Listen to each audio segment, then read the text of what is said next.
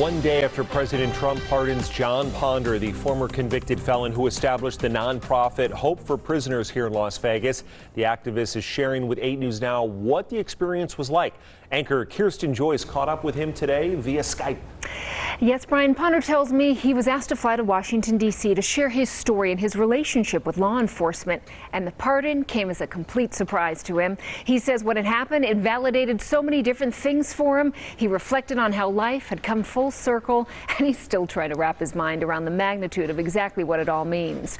President Trump signed the full pardon in a seven minute video released by the White House yesterday ahead of the second evening of the GOP convention. Ponder and the former FBI agent who arrested him have since become close close friends.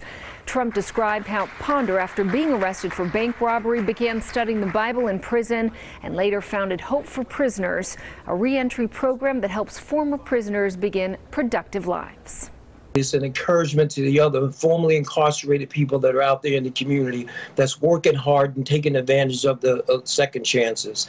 I think there was evidence that, you know, if you work hard um, and, and do the right thing and do not commit other crimes and, uh, and stay the course that, you know, what happened to me yesterday uh, is available to, to, any, uh, to anybody.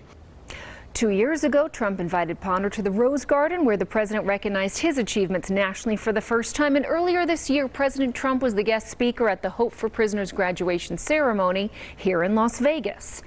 Ponder says with the full pardon, he has retained his right to vote. He calls it a privilege and says he's looking forward to being able to vote for his very first time in a presidential election.